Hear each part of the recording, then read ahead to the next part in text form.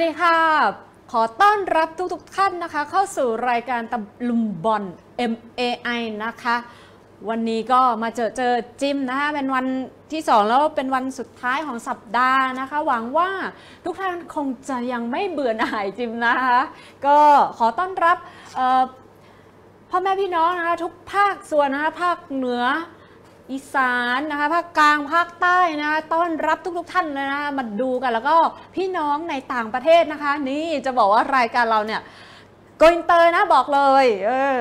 ถึงแม้ว่าจะมียอดผู้ชมนิดหน่อยนะคะ แต่ว่าก็โกอินเตอร์นะคะเพราะว่ามีพี่น้องหลากหลายที่นะคะก็เข้ามาติดตามกันนะคะ ก็ต้องก่อนอื่นขอทักทายนะคะพี่พัทรกรนะคะ สวัสดีนะคะ คุณแม่พลอย คุณสามารถนะนะคะ ก็ ฝากกดไลค์กดแชร์ด้วยนะคะ รายการดีๆ แบบนี้เราจะต้องไม่ปล่อยผ่านสินะ เราก็ต้องแชร์ให้โลกได้รับรู้ว่ายังมีรายการที่ทำเพื่อครอบครัวทันหุ้นอยู่นะคะ ซึ่งก่อนที่เราจะไปดูเอาไปดูกันก่อนเลยเพราะว่าตลาด MAI นี่เขาก็เปิดมาตั้งนานแล้วนะคะ ตอนนี้ ใกล้ๆท้ายๆตลาดแบบนี้ เดี๋ยวเราจะบอกกันนะว่า หุ้น MAI ตัวไหนหุ้นน้องเล็กกำไรดีดีเนี่ย มันจะเป็นแบบไหนอย่างไรและตัวไหนน่าสนใจ เดี๋ยวเราไปดูกันนะคะ ตอนนี้ตลาด MAI ก็อยู่ที่ 445.85 จุดนะคะ ก็ล้อไปในทิศทางเดียวกับเซตใหญ่เลยนะคะ เพราะว่าเซตใหญ่นี่อยู่แถว 1,726.09 จุดเนี่ยแหละค่ะ บวกขึ้นมา 8จุด13จุดนะคะ อันนี้ก็สอดคล้องกันไปในทิศทางเดียวกันนะคะ ก็ถือว่า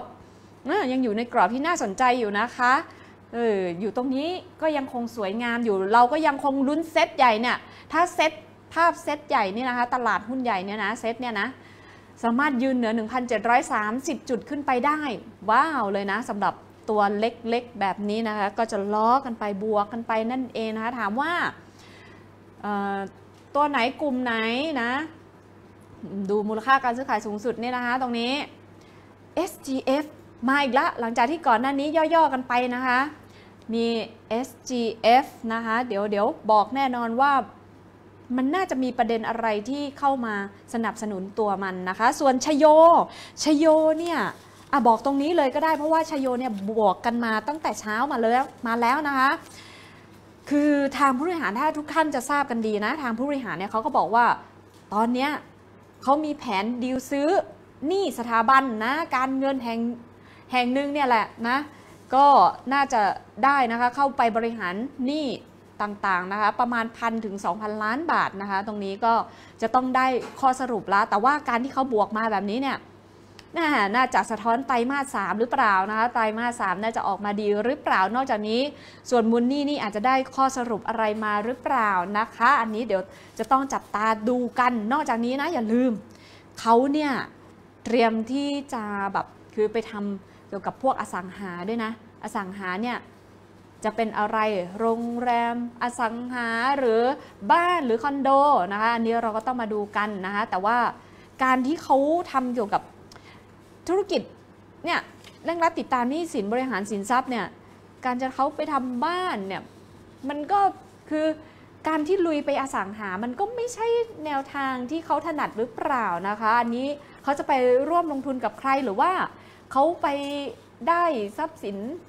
จากลูกหนี้มาหรือเปล่านะคะ แล้วก็มาบริหารต่อเออก็มีความเป็นไปได้อันนี้ เดี๋ยวถ้ามีอะไรอัปเดตออกมา เราจะมาบอกให้กับทุกๆท่านอย่างแน่นอนแต่ราคาที่พุ่งขึ้นแบบนี้นี่ สะท้อนข่าวดีบางอย่างที่เกิดขึ้นนั่นเองนะคะ O2O โอ้ก็บวกขึ้นมา 72 สตางค์นะคะอันนี้อาจจะล้อล้อไปกับทางบริษัทแม่เขาอย่างสามารถหรือเปล่านะคะเอออาจจะได้งาน ในส่วนของเขมรเข้ามาหรือเปล่านะสำหรับ O2O นะ ECF นี่ก็ทำเฟอร์นิเจอร์นะคะนี่ก็บวกขึ้นมานะ 20 สตางค์แต่ ECF เนี่ยความน่าสนใจของเขาคือ เขามีพวกทำโรงไฟฟ้าด้วยนะคะเออในญี่ปุ่นเขาว่าอันนี้ก็ได้รับอะไรายได้หลายทางอยู่นะคะนะโอเค เอาแค่นี้ก่อนนะคะ เราไปดู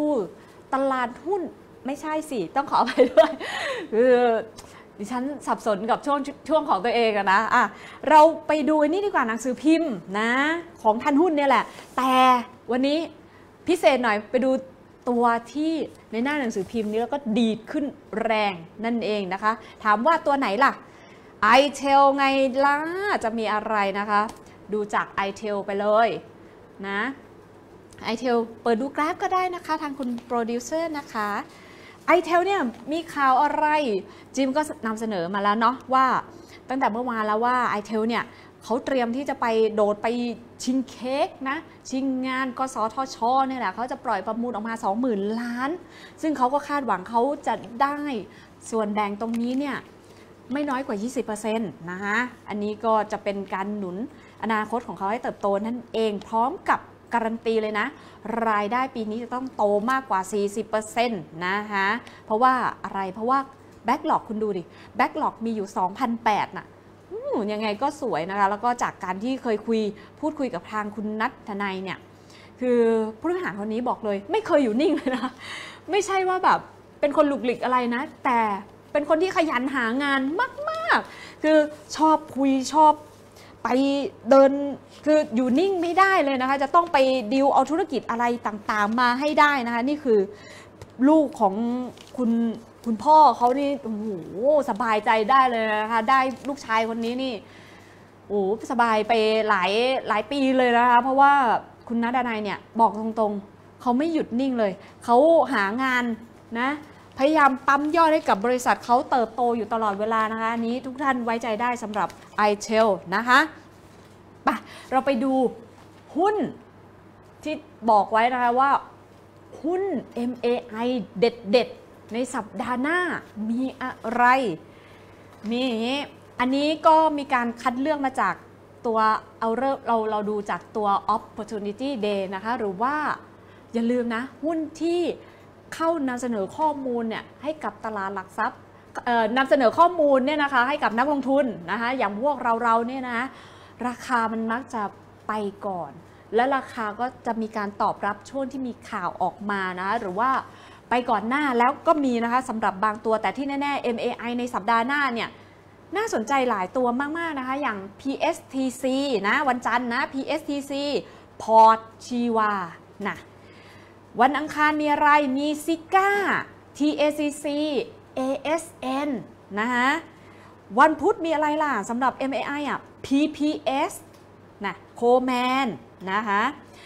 วันพฤหัสมีอะไร JKN NDR JKN คุณก็เห็นว่าราคามันปรับตัวขนาดไหนนะคะวันศุกร์มีอะไรมี PJW นะคะ ซึ่งเราคือทุกท่านอาจจะปวดหัว อุ้ยทำไมฉันจดไม่ทันนะ คัดมาให้ไม่ต้องกังวลนะคะ เราคัดมาให้ตรงนี้ เราจะเริ่มด้วย ไปแล้วค่ะขึ้นเลยแล้วคะเราจะเริ่มด้วยอะไรล่ะอ๋อไม่มีใช่ไหมคะ โอเค ไม่เป็นไร เราจะเริ่มด้วยตัวที่มีการพูดถึงในวันนี้ก่อน SELIC SELIC เนี่ยวันนี้เขา ไป Opportunity Day นำเสนอข้อมูลให้กับนักลงทุนที่ตลาดหลักทรัพย์นะคะเขาพูดว่าปีนี้เนี่ยกำไรกำไรเขากล้าพูดกำไรว่าดิฉันไม่กล้าพูดนะคะก็เอาเอาเป็นว่าผลการดำเนินงานปีนี้เนี่ยก็จะเติบโตนะคะ ในลักษณะที่ใกล้เคียงหรือว่าดีกว่าปีที่ผ่านมานะคะ เพราะว่าเขามีการคุมพวกค่าใช้จ่ายต่างๆนะ เพิ่มขึ้นนั่นเอง พอคุมค่าใช้จ่ายรายจ่ายที่มันไม่ไม่จำเป็นต้องจ่ายเนี่ยมันก็ทำให้ ไม่มีเงินไหลออกนะคะนี้ก็ช่วยในเรื่องผลงานและกำไรของเขาให้เติบโตได้นะคะ เพราะว่าครึ่งปีหลังเนี่ยเขาก็มองว่ามันเป็นช่วงไฮซีซั่นนะ คือต้องบอกก่อนว่าซีลิงเนี่ยทำกาวอุตสาหกรรมนะเขาก็หวังว่าครึ่งปีหลังจะเป็นช่วงไฮซีซั่นของพวกกาวอุตสาหกรรมเนี่ยแหละ มันน่าจะเติบโตไปได้ แล้วก็เขาเตรียมที่จะออกผลิตภัณฑ์ใหม่เข้ามานะ ก็ไม่ต่ำกว่า 10 รายการตรงนี้ก็จะช่วยปั๊มยอดขายของเขาเพิ่มขึ้น นอกจากนี้เขาก็มีการ ลุยนะลูกค้าใหม่ ๆ เพิ่มเข้ามานะคะ อันนี้ก็เชื่อว่าผลการดำเนินงานของซิลิกเนี่ยจะปรับตัวเพิ่มขึ้น และประเด็นเลือกตั้ง ตรงนี้เขาก็มองว่าเออมันน่าจะช่วยปลดล็อกนะบรรยากาศการลงทุนต่างๆ ให้กลับมาคึกคัก ความต้องการกาวเพิ่มขึ้น เออนะก็ไปทางความต้องการกาวนะคะก็คือด้วยความที่ปลดล็อก ปลดล็อกการเมืองการเมืองทุกอย่างมันชัดเจนเลือกตั้งชัดเจนเนี่ยมันทำให้ภาคอุตสาหกรรมสามารถเติบโตนะคะ โครงการต่างๆก็มีการกระตุ้นการลงทุนเข้าไปโครงการต่างๆเนี่ยมันก็ใช้กาวอุตสาหกรรมนะคะเพิ่มขึ้นนี่อันนี้ก็น่าจะเป็นตัวดันให้กับเขานั่นเองนะคะตัวต่อไปนะสำหรับสัปดาห์หน้าเราเลือก PSTC PSTC เนี่ยคือความน่าสนใจของเขาเนี่ยนะคะ เขาเนี่ยเตรียม COD หรือว่าขายไฟนะ โรงไฟฟ้าชีวภาพเนี่ย 5.6 เมกะวัตต์นะ อันเนี้ยรับซับเข้ามาเนาะๆในไตรมาส 4 นี้นะคะทุกท่าน บอกเลยว่า PSCC นี่สวยงามจริง ๆ นะคะแล้วจะทำให้กำลังการผลิตนะ ทั้งปีของเขาเนี่ยอยู่ที่ 35.6 เมกะวัตต์นะคะ ตรงนี้ก็น่า น่าสนใจน่าสนใจเพราะว่าทางผู้บริหารเขาก็บอกว่าตรงนี้เนี่ย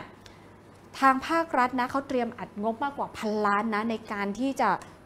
ทำเกี่ยวกับการติดตั้งระบบไฟฟ้าระบบต่างๆเนี่ยซึ่งมันเอื้อกับเขาเพราะว่าเขาก็จะได้รับงานติดตั้งระบบไฟฟ้าตรงนี้นะคะซึ่งก็จะทำให้ PSTC เนี่ยกลับมาสดใสและมีกำไรที่โดดเด้งนั่นเองนะคะอืมซึ่งหลายโบรกเขาก็มองว่ากำไรเนี่ย all time high นี่แปลว่าครึ่งปีหลังเนี่ยน่าจะ peak peak peakนะคะอันนี้คือโบรกเขามองนะ ส่วนรายละเอียดจะเป็นรายติดตามได้ในหนังสือพิมพ์นะคะอืมตัวต่อไปมีอะไร เราไปกันต่อเนาะกันเลยนะคะ ที่ TACC TACC เนี่ยเขาเตรียมที่จะอัปเดตวันที่ 18 กันยายนนะทุกคนก็คืออาทิตย์หน้านี้นะคะ TACC เนี่ยก่อนหน้านี้ทางผู้บริหารถ้าทุกท่านจะ รู้กันนะคะ ผู้บริหารเนี่ยบอกเลยนะว่า ตัวของเขาเนี่ยในครึ่งปีหลังเนี่ยจะเติบโตดีกว่าครึ่งปีแรกอย่างแน่นอน เพราะว่าเขาเข้าสู่ช่วง High Season นะคะถามว่าช่วงแรกของเขาเนี่ยมีกำไรเออตอนนี้ราคาอยู่ที่ 4 บาท 4 สตางค์นะคะ ส่วนเราไปดูนะคะกำไรสำหรับ TACC ในช่วง ครึ่งปีที่ผ่านมา มีกำไรไปแล้ว 36.95 ล้านก็ประมาณเกือบ 37 ล้านบาทนะคะ เราก็มาเอาใจช่วยนะ เพราะว่าไตรมาสแรกของเขาไม่ค่อยดีนะคะ เนี่ยเราจะเห็นไตรมาสแรกมันไม่ค่อยดีไตรมาสสองก็เตื้องมาหน่อยนึง แต่ไตรมาสสามไตรมาสสี่เขาบอกว่ามันจะเข้าสู่ช่วงไฮซีซั่นแต่จะไฮซีซั่นถึงขั้นที่จะทำให้กำไรเขามาโตเท่ากับปี 60 ได้หรือเปล่านี่ต้องมาลุ้นกันนะคะ แต่ที่แน่ๆทางผู้บริหารเขาก็บอกว่า ครึ่งปีหลังนี่น่าจะโตดีแหละ เพราะว่าก่อนหน้านี้เขาได้รับเขาก็ยอมรับว่าได้รับผลกระทบจากภาษีน้ำตาลนะคะที่มัน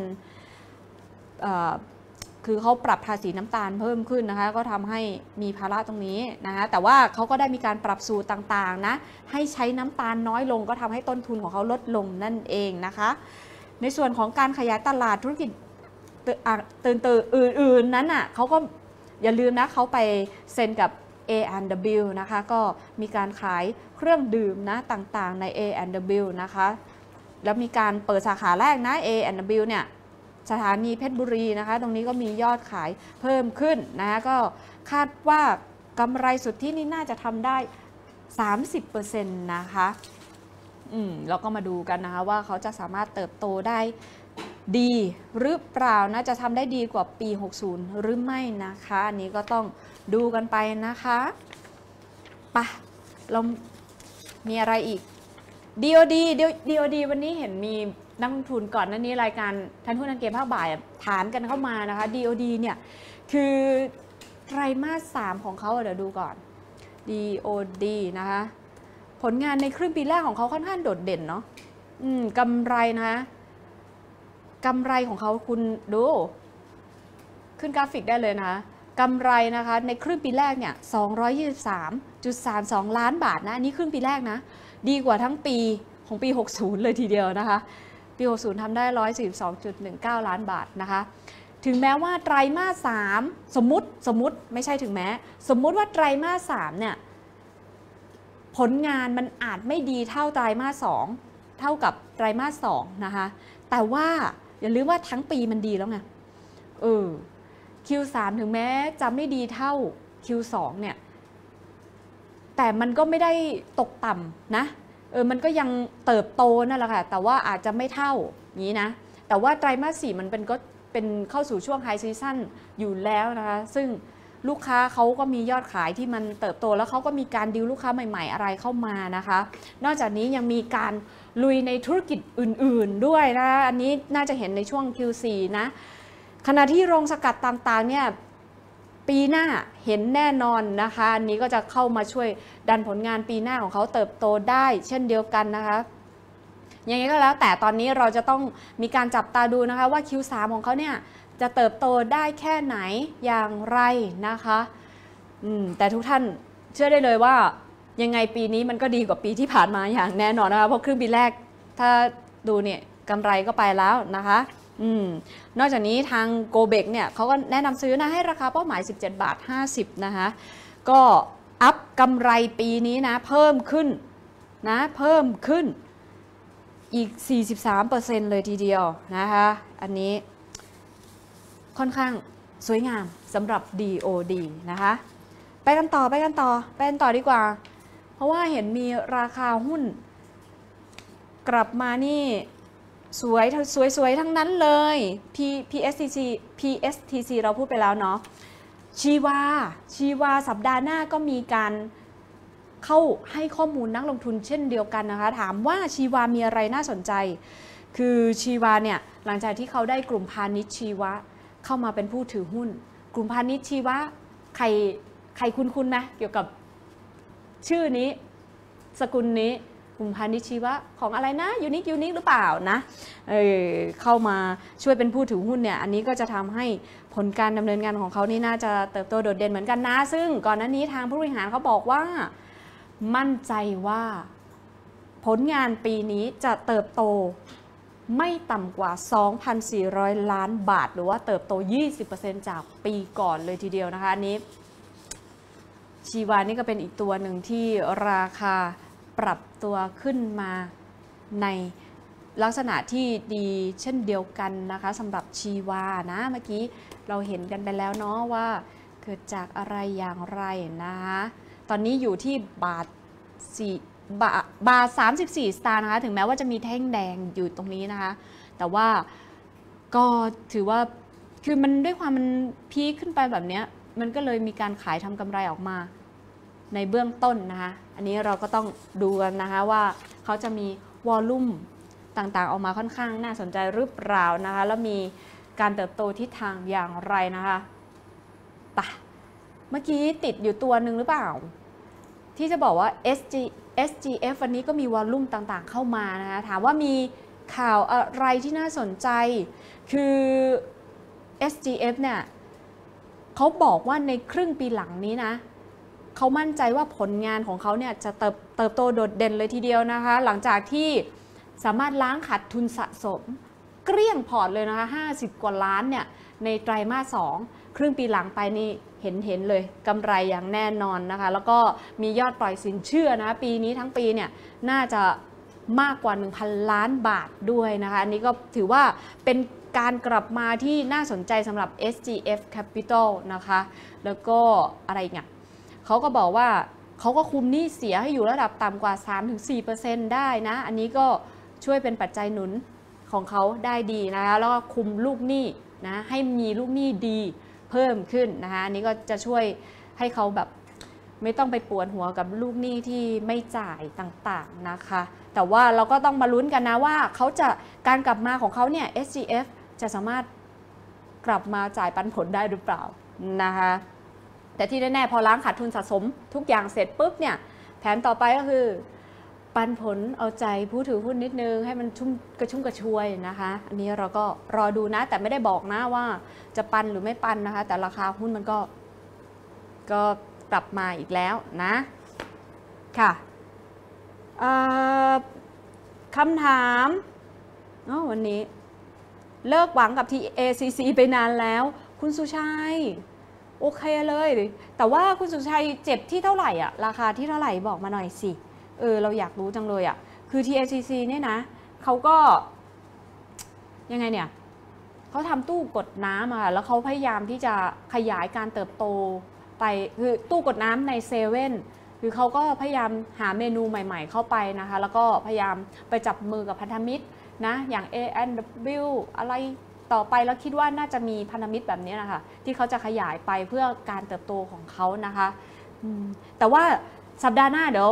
เดี๋ยวเราจะส่งมือดีไปดูนะว่า TACEC เนี่ยเขามีแผนอะไรที่จะพลิกฟื้นนะความเชื่อมั่นกับนักลงทุนอย่างคุณสุชัยเนี่ยกลับมาได้หรือเปล่านะคะ เดี๋ยวเราไปดูนะคะชีวานะดอย คุณสุรชัยหรอ เนี่ยเราไม่รู้เลยว่าคุณอยู่ที่เท่าไหร่อะตอนนี้อยู่บาทสามห้านะบวกขึ้นมา 3 สตางค์นะคะ พี่แม่พลอย PSH หรอ มาตัวใหญ่เลยนะแม่พลอยนะ PSH PSH เหรอคะ PSH นี่นะต้านนะคะ ตอนนี้ราคา 20 บาท 60เนาะต้านมันก็จะสั้นๆนะ มีโอกาสนะ 20 บาท 77 นะคะเออเอาสั้นๆไปก่อนเนาะแม่แม่พลอยเนาะแม่พลอย PSS เนี่ยมันเป็นหุ้นปันผลนะ ปันผลดี แม่พลอยจะเล่นขายต้านแล้วเหรอเออโอ้ Inside Stock นะคะ บอกว่าการปราบปรามยาเสพติด จะทำให้ยอดขายกาวเพิ่มขึ้นหรือลดลงครับ คุณโยงไปทางนั้นเลยเหรอคะนี่คือเขาใช้กาวอุตสาหกรรมค่ะคุณ อืมนะ DOD ทำไมไตรมาส3สู้ไตรมาส2ไม่ได้ครับ คือไตรมาส3เนี่ยบอกเลยว่าเขามีการปิดซ่อมโรงงานนิดหน่อยนะคะ ปิดซ่อมช่วงหนึ่งหนึ่งช่วงระยะเวลาหนึ่งนะคะ ก็ทำให้ยอดมันหายไปนะคะ แต่ว่าเดี๋ยวเอาความชัดเจนมาให้นะคะ ต้องเดี๋ยวไปสอบถามกับทางผู้ทางผู้บริหารใหญ่ของเขานะคะว่า ตรงนี้เนี่ย Q3 จะดีหรือไม่ดี อันนี้เราไม่ได้บอกนะว่า Q3 ของเขาจะไม่ดีหรือว่าสู้ไตรมาส2ไม่ได้นะคะ เมื่อกี้จิมแค่ยกตัวอย่างว่าสมมุติว่า Q3 ของเขาไม่ดีเนี่ย แต่มันก็ไม่ได้แย่ถ้าเทียบกับ Q3 ปีก่อนนะคะเออและทั้งปีของเขาเนี่ย ของ DOD นะ มันดีกว่าปีที่ผ่านมาอยู่แล้วเออดังนั้นความสวยงามมันอยู่ตรงนี้แหละค่ะนะ และ DOD ยังไม่ได้ยังยัง ยังมีข่าวดีอะไรบางอย่างอยู่หรือเปล่านะคะอันนี้เดี๋ยวเดี๋ยวเดี๋ยวเดี๋ยวเดี๋ยวจิมไปเจาะมาให้สำหรับทุกๆท่านนะคะที่แม่พลอย TACC เจ็บมากเหรอเอ TACC เหรอคะ เดี๋ยวจิมไปจัดการผู้บริหารให้ไหมพูดเล่นนะคะ เราก็ทำอะไรไม่ได้เนาะแต่ว่าเดี๋ยวเราจะไปถามกลยุทธ์เขาดีกว่านะคะว่าเขาเนี่ยเสียงจากนักลงทุน มาแบบนี้เนี่ยทางผู้บริหารจะทำยังไงเพื่อพลิกฟื้นความเชื่อมั่นของนักลงทุนขึ้นมาได้ แล้วก็จะทำยังไงให้ธุรกิจของเขาเติบโตขึ้นมาได้นะคะอันนี้ เดี๋ยวเราจะไปถามทางผู้บริหาร TACC อย่างแน่นอน เพราะว่าสัปดาห์หน้าวันอังคาร เขาจะมีการเข้ามานำเสนอข้อมูลให้กับนกลงทุนนะคะ เดี๋ยวเดี๋ยวไปจัดการให้นะคะสำหรับทุกๆท่านต้องขอขอบคุณมาก ๆ นะคะ ที่เข้ามาให้กำลังใจจิมเนาะเออ เออจิมถามนิดนึง มีใครยังถือตัว I I I ไหม Triple I อะ มีท่านไหนที่ยังถือไหมคะ ที่ยังสนใจตัวนี้ยังยังมีไหมเอ่ย คืออย่าลืมว่า คือจิมจะบอกว่าตัวหุ้นพพวกโลจิสติกขนส่งพวกอะไรอย่างเงี้ย Triple I อะไรอย่างเงี้ยค่ะเขาก็คือถ้าสงครามการค้าทุกอย่างมันมันเคลียร์แล้วเริ่มคลี่คลายไปเนี่ย วกโลจิสติกพวกอะไรอย่างเงี้ยมันก็จะบวกกลับมาแล้วก็ตัวนี้ก็เป็นหนึ่งในนั้น เช่นเดียวกันนะคะอันนี้ก็อันนี้บอกไว้เฉยๆนะ อืม ตอนนี้ราคาอยู่ 6 บาท 50 นะคะนนี้ก็โอ้ใกล้ละ เพราะว่าต้านถัดไปก็บวกไปอีก 10 ตังค์นะคะก็ 6 6 6 5 เนาะอืม ก็ถือขอให้ทุกการลงทุนของทุกๆคนเนี่ย ประสบความสำเร็จแล้วก็ร่ำรวยเงินทองกันนะคะเออของรายการของเราก็คงจบแต่เพียงเท่านี้นะ แล้วมาเจอเจอกันใหม่ในสัปดาห์หน้า มาเจอเจอกับคุณบอลเนี่ยละค่ะ วันนี้จิมลาไปก่อนนะคะ สวัสดีค่ะ